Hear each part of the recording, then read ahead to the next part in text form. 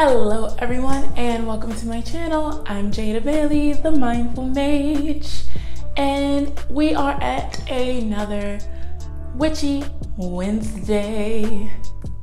So today we are actually going to be, you know, talking, okay? So thank you guys for tuning in to my TED Talk. We are going to be getting into it today.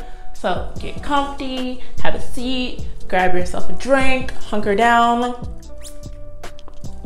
because we got some things to talk about. So we're going to be talking about what it means to me to be a Christian and a witch, what it means to be Christo pagan, and all the people, especially Christians, out there that want to tell you, tell me that your beliefs are wrong and your lifestyle is wrong and the way you choose to worship is wrong and you're going straight to the pits of hell and you're going to burn for all eternity.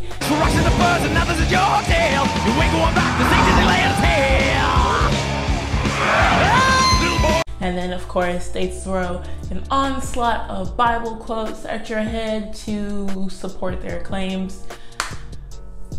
So, like, how do you defend yourself? What do you say to these people? How do you give rebuttals to their arguments, their points, their Bible quotes? Because they are, some of them, sometimes valid, and it can be hard to find the words to really explain or to get them to understand where you're coming from.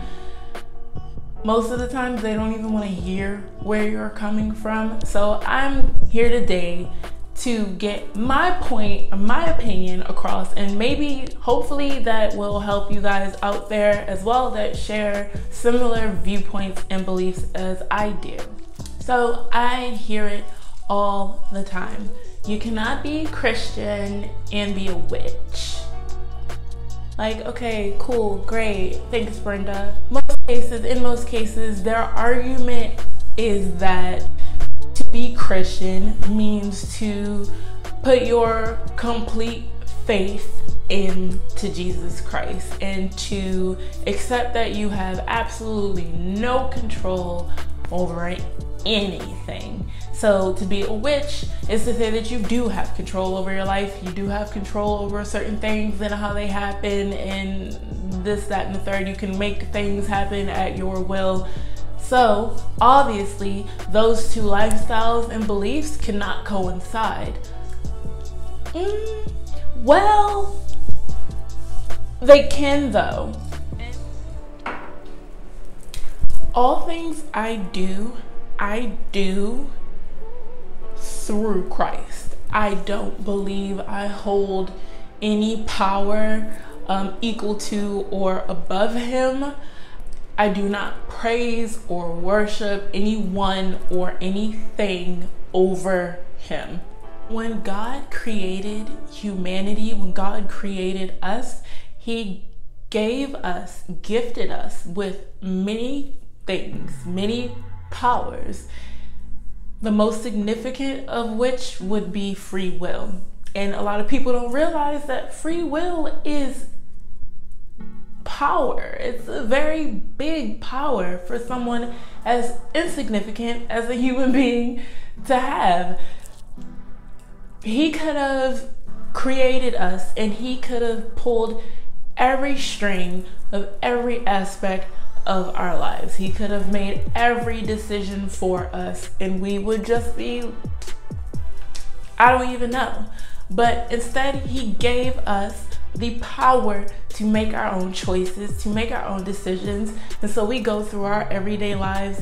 You choose whether or not you want to stop by Starbucks in the morning on the way to work. You choose whether or not you want to have an affair with this person that is not your spouse. You choose to do a thousand different things in your everyday life that have nothing, nothing to do with God.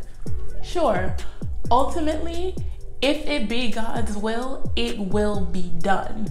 But that doesn't stop you from living your life, does it? That didn't stop you from deciding to wear that outfit today or deciding whether or not you should go to happy hour. Like, did it? No. No, it didn't. So, super duper mega Christian Jennifer, while you're sitting at Chevy's at 3 p.m. on a Monday afternoon chugging back your bottomless margaritas, did you ever stop to think to yourself, did God tell me to do this? Is this what Jesus Christ would want? No, because Jesus didn't make that decision for you. You did. So, how can you claim to have no power over your life? Sure, it may not be vast and it'll never compare to Christ's dominion, but you do have power. You are not to be Christian, is not to be powerless. God gave you a gift and free will, and you are free to exert that free will. Now, what I feel is the second most significant is that humanity was gifted the earth.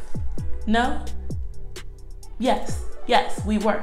We were gifted the earth and everything in it. We were gifted the power to rule over it, to use every aspect of it to serve us the plants of the earth, the animals. They give us food and medicine and companionship, not necessarily through any choice of their own, but again, they were put here to serve us. The air, the water, it sustains our lives. We could not live without it. Its purpose is to serve us.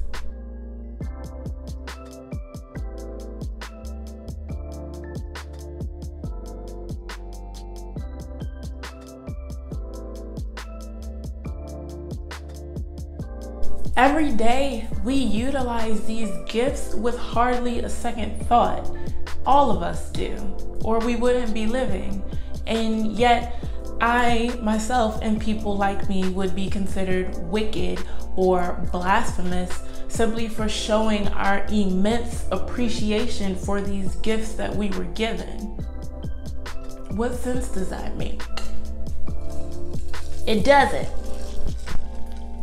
I use trees and herbs, crystals, and rocks to serve me on a deeper level than others might, but that does not mean I'm going to help Sister Janet, okay? Simply because I give thanks, I give, I show my appreciation to these things for serving me does not mean I'm a Satan worshiper, okay? when you go out to eat at a restaurant, yes, that waitress is there to serve you. Yes, that is their purpose. That's what they were hired for. But that doesn't mean that when they bring you your food and your drinks, you can't say, Thank you. I appreciate that. Thank you. Right? Like any decent person would. When you are given a gift, you don't use and abuse it until it's run down to crap. You don't take it for granted. You enjoy it, you respect it, you appreciate it, and you show your gratitude. And I feel that should that should apply times a million when it comes to gifts that are given by God. No? These powers that are given to you by God, you should appreciate. You should utilize, which we all do, but you should appreciate. And to me, that's what being a witch is. To me, I take these gifts, my free will, I take these gifts of the earth, the, the crystals, the rocks, the water, the moon, the stars, all of it. I take these things, I use them on a deeper level, and I show my thanks, my gratitude, and my appreciation, not just to them to those things for serving me, but to God, to Christ, to the Holy Trinity for providing me with these things in the first place. If you feel like that makes me wicked or that makes me evil somehow, I mean, I'm sorry.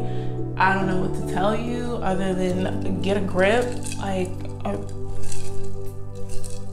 my mother literally said to me, Love you, mommy.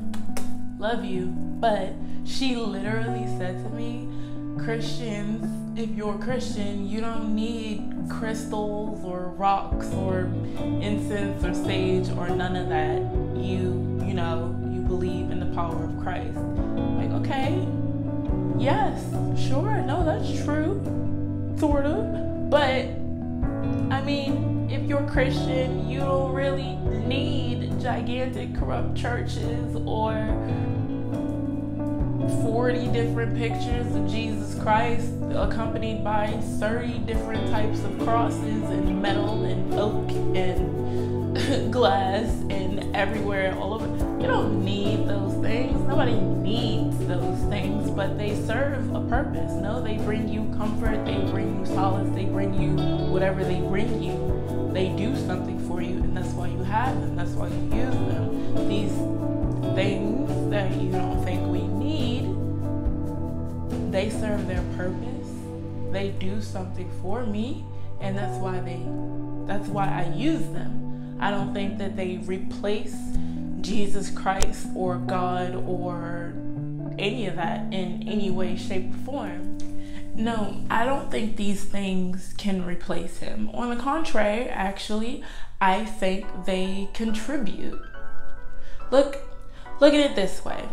Let's say God the Father, uh, Christ the Son, and the feminine divine Holy Spirit.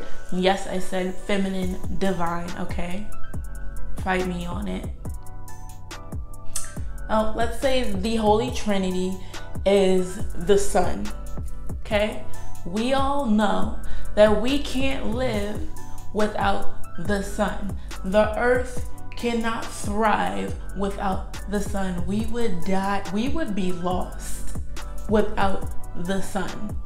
Now, there are still the stars, and I like to think of my crystals, my sage, my little rituals, my this, that, and the third.